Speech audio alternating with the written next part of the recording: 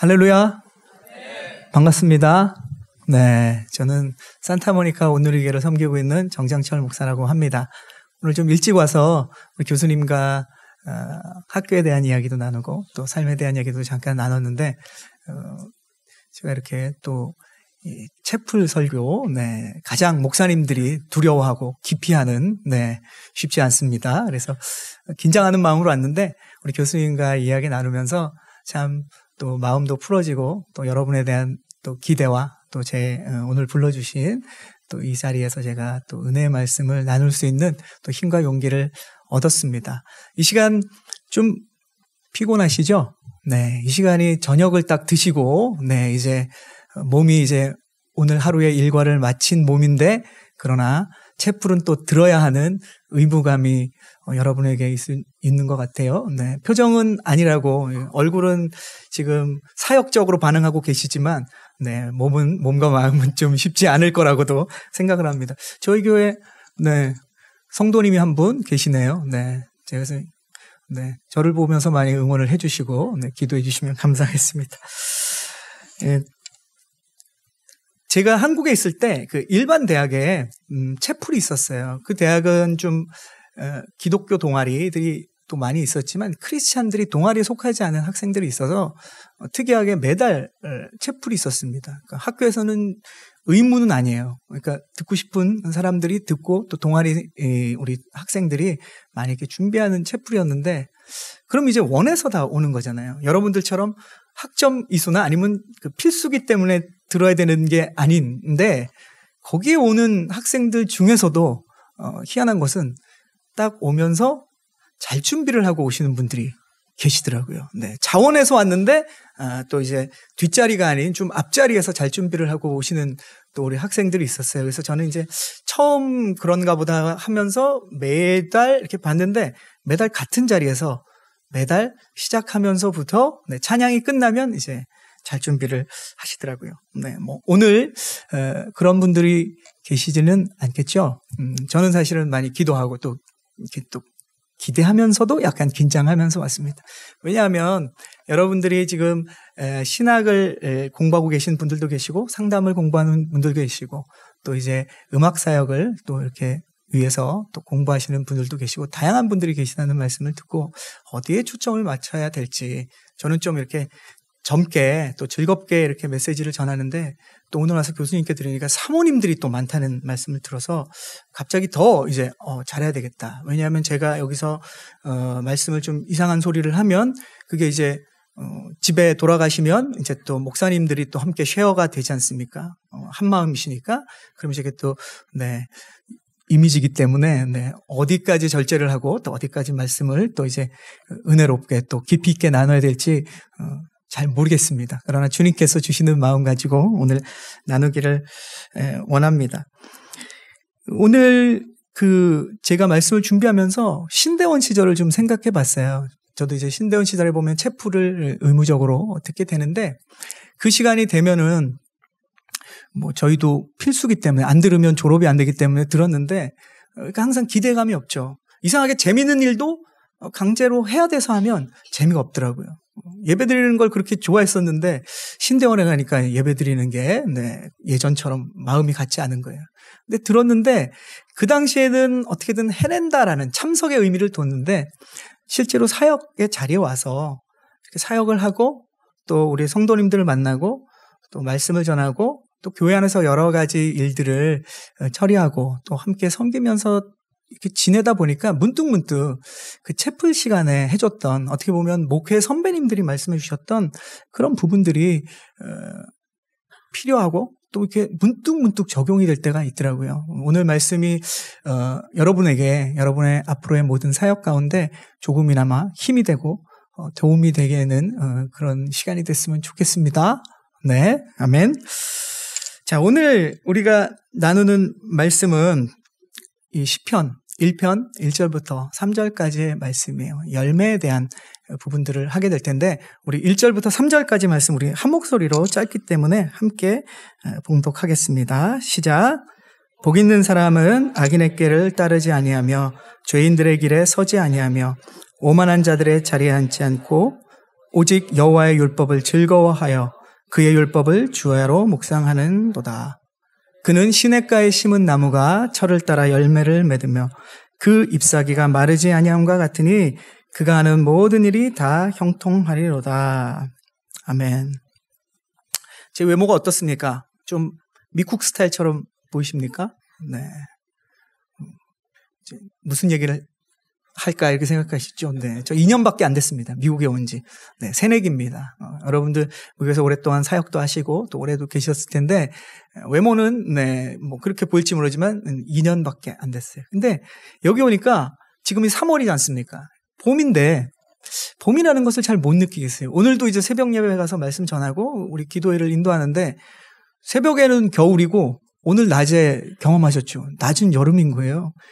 그 3월인데 봄이 아니고 겨울과 여름이 이게 몇 시간 차이로 왔다 갔다 하는 거예요.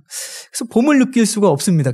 이제 계절로 봄을 못 느끼는데 한국에서는 우리가 제가 지낼 때 보면 쉽게 봄이라는 걸 가장 잘 느낄 수 있는 시각적으로 어, 그런 것이 있어요.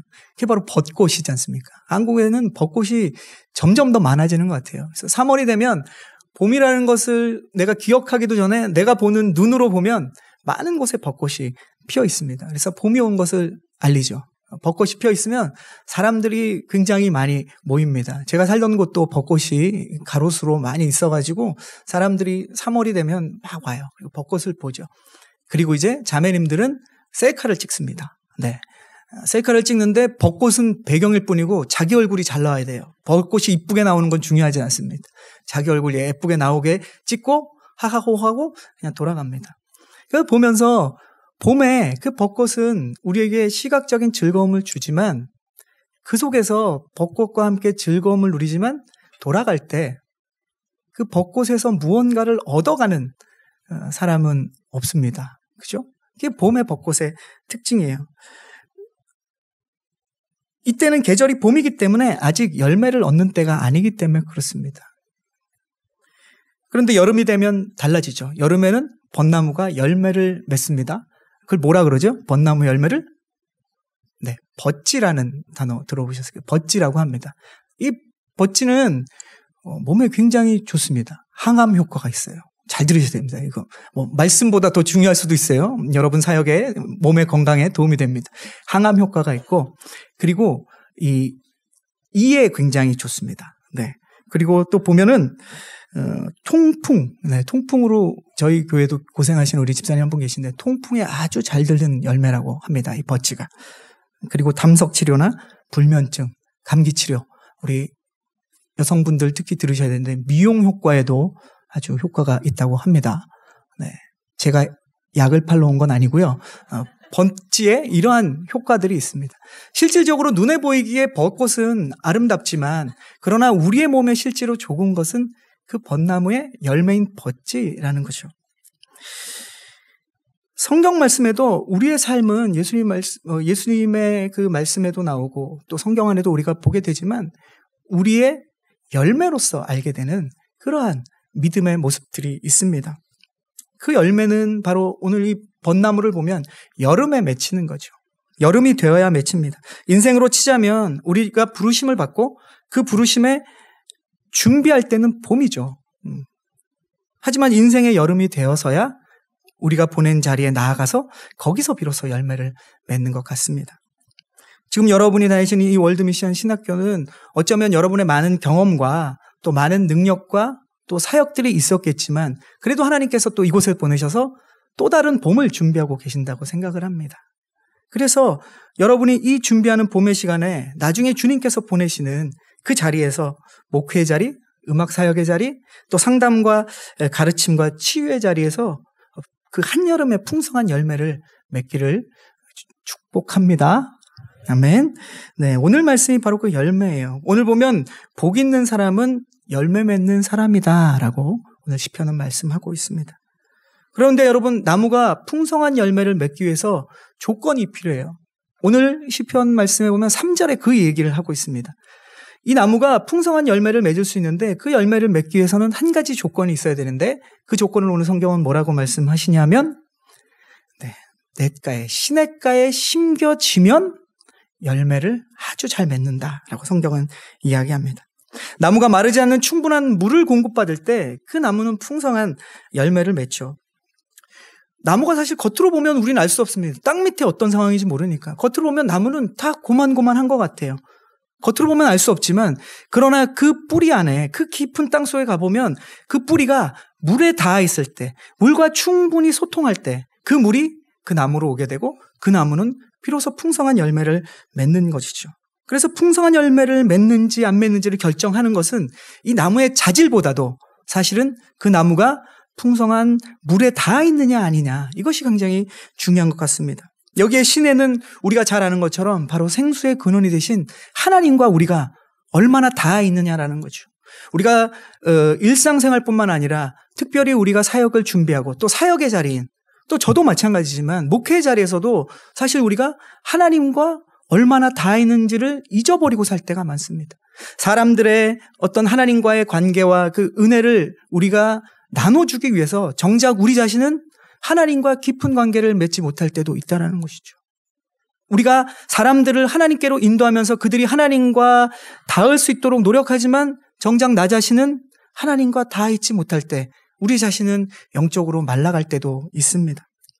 제가 신학교 다닐 때 경험을 보면 함께 공부할 때는 잘 몰랐어요. 보면 사실은 그때는 우리가 뭐 나름대로 파트 전도사 사역, 그러니까 그 사역들 하시잖아요. 하면서 이제 함께 공부를 하면 외모로 볼 때 또 말하는 어떤 투나 또 이렇게 사람들과 교제할 때도 그렇지만 어떤 말씀에 대한 이야기를 나눌 때도 보면 약간 전도사님 같은 신학생들이 계세요. 다 전도사 사역을 해도 전도사님 같은 신학생이 있고 그냥 어좀네 그냥 그렇지 않은 음, 학생도 있어요. 근데 또 어떤 분들은 교회 오빠 같은 그런 전도사님들도 있습니다.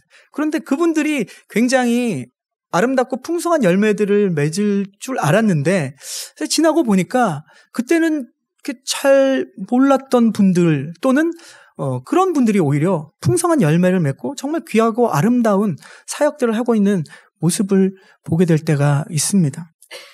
그러니까 눈에 보이는 좋은 모습이 아니라 그 사람이 하나님과 얼마나 깊은 관계를 맺고 있는가, 얼마나 하나님 앞에 하나님께 순종하고 하나님과의 친밀함을 통해서 하나님을 알아가고 그 알, 알게 된 하나님을 같이 쉐어하고 나눠주느냐, 이것이 결국 그분들의 열매를 결정하는 모습들을 보게 됩니다. 오늘 말씀 3절 마지막에 보면 시냇가에 심긴 나무와 같이 풍성한 열매를 맺는 사람은 결과가 어떤지를 말해주고 있습니다. 풍성한 열매를 맺는 사람의 결과는 무엇인가? 뭐라고 얘기합니까? 모든 것이 다 형통할 것이다. 라고 성경은 얘기합니다. 우리가 너무 좋아하는 말이죠. 형통. 제가 잘 아는, 아주 잘 아는 사람 한, 한 사람을 이야기하겠습니다. 이 사람은 아주, 어, 원리 원칙, 좋은 의미로 아주 원리 원칙에 철저한 사람이었어요. 아주 강직한 사람입니다. 자신이 어, 좋은 마음으로 굳은 의지를 가졌으면 그걸 바꾸지 않았던 제가 한 사람을 어, 이야기하겠습니다.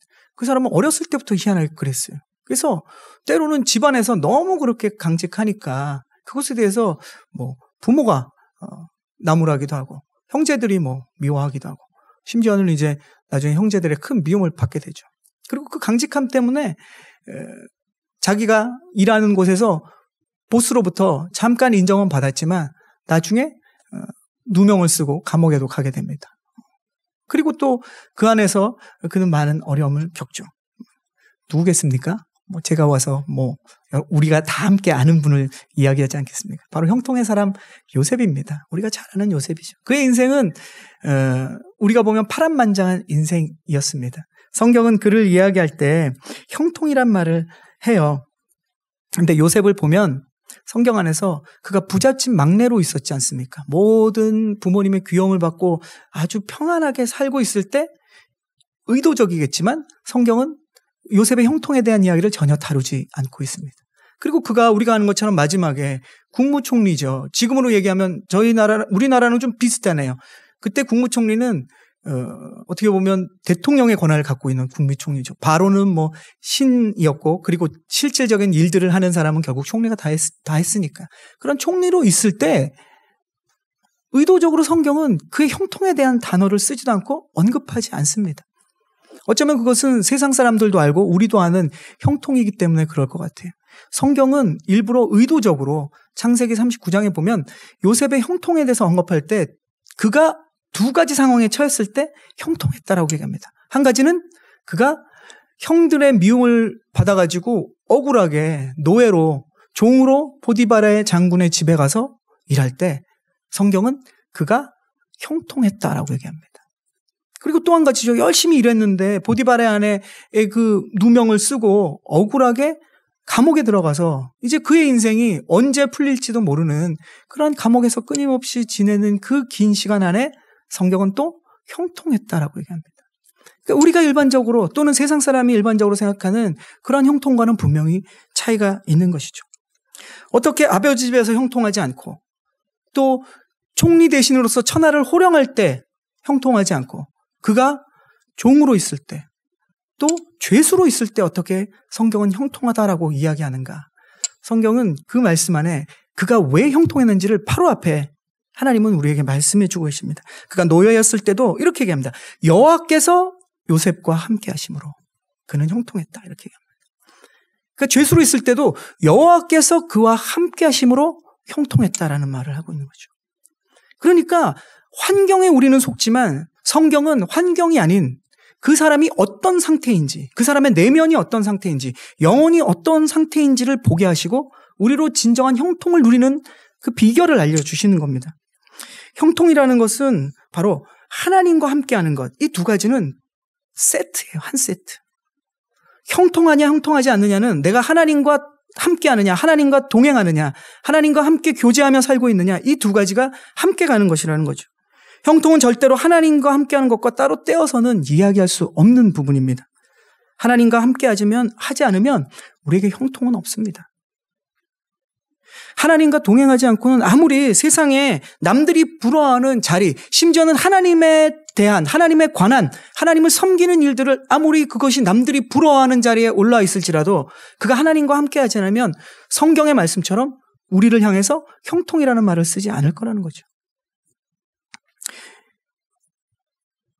그러나 하나님과 우리가 만약에 함께 한다면 내가 하나님 안에 거하고 하나님을 붙잡고 주님만이 나의 오늘 찬양처럼 힘이시오 반석이시오 내가 주님과 함께 하겠다는 그러한 믿음의 고백으로 우리가 살아가고 주님을 붙잡고 주님께 손정하고 우리가 따라간다면 우리를 보내시는 그 모든 자리는 형통의 자리라는 겁니다. 여러분이 지금 체프를 드리는 이 시간 또 여러분이 하나님이 이제 부르셔서 이 부르심에서 이제 보내시는 그 자리를 준비하는 이 시간도 형통의 자리입니다.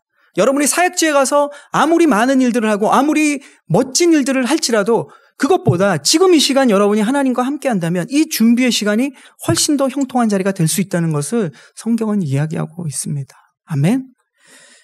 그래서 때로는 우리가 우리를 부르시고 또 보내시는 그 자리가 때로는 힘에 붙이는 곳일지라도 때로는 그 자리가 내 마음대로 풀리지 않는 그런 현실의 자리일지라도 때로는 그 자리가 아무도 알아주지 않는 그런 어려운 자리일지라도 그 자리가 바로 하나님과 함께하는 자리임을 내가 기억하고 믿음의 눈으로 바라볼 수만 있다면 주님은 저와 여러분을 향해서 말씀하실 것입니다. 네가 지금 형통하다. 우리는 이 믿음의 하나님의 위로와 하나님의 확신의 소리를 우리가 믿음으로 들을 수 있는 믿음의 귀가 열려야 합니다. 아멘. 여러분을 이제 부르시고 보내실 그 자리에 하나님께서 나와 동행하시고 계시다는 것을 경험하는 것. 사실 그것보다 더 중요한 게 무엇이 있겠습니까? 하나님 나를 보내셨는데 너무도 좋아. 남들이 다 부러워하는 자리야. 근데 거기에 하나님이 안 계시다면 내가 거기서 하나님을 의지하지 않는다면 이것은 우리에게 진정한 불행이라는 것이죠.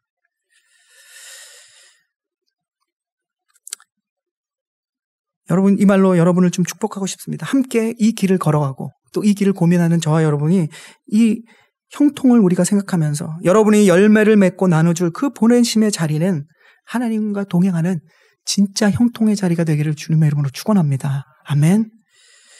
지금 세상은 보면 눈에 잠시 즐거움을 주는 꽃이 아닌 실제 삶의 회복을 주는 열매가 필요한 때인 것 같습니다. 많은 사람들이 이제 눈에 보이는 건 지긋지긋하게 봤어요. 그것에 현혹돼서 가봤어요. 근데 열매가 없는 많은 사람들이 세상에 실망하고 있습니다. 세상은 지금 시냇가에 있지도 못하는 것 같아요. 다 갈급해 합니다. 다 목말라 하고 있습니다. 세상은 지금 풍성한 열매를 맺지도 못하고 있죠. 어떻게 보면 열매가 있는 것 같은데 까보면 아무것도 없는 그러한 현실 속에서 다들 낙심하고 있는 것이 지금 이 세대인 것 같습니다. 미국이 그렇고 한국이 그렇고 저 여러분의 사역의 자리를 돌아보면 주위를 보면 그런 것 같습니다. 어쩌면 저 여러분도 그러한 경험을 하고 있는 시대인 것 같습니다. 그래서 세상은 누군가로부터 진짜 열매를 공급받기를 원하는 거예요. 우리를 풍성한 열매로 주님이 맺게 하시는 것은 내가 먹는 양만큼의 열매가 맺히지 않습니다. 30배, 60배, 100배의 축복들은 왜 우리에게 주십니까? 그거는 우리가 그거 다 먹으면 소화불량에 걸려서 배가 터져요. 우리가 난, 우리가 충분히 누리고 나눌, 아, 먹을 것 이상의 것들을 우리에게 주시는데 그것은 나누라고 주신 겁니다.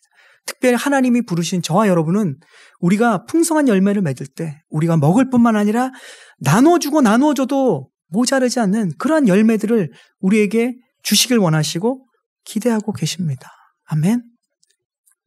그래서 복 있는 사람 바로 저와 여러분을 통해서 시냇가에 심긴 저와 여러분을 통해서 또 형통한 사람 바로 여러분을 통해서 그 열매를 나눠주기를 주님은 오늘도 꿈꾸시고 계십니다. 그 꿈을 우리가 함께 꾼다면 주님은 반드시 저와 여러분을 통해서 그 일들을 이루실 줄로 믿습니다. 아멘. 그런 아름다운 사역자 되시기를 주님의 이름으로 축원하고 그 길을 우리 함께 걸어가는 동역자가 되기를 주님의 이름으로 축원합니다. 아멘.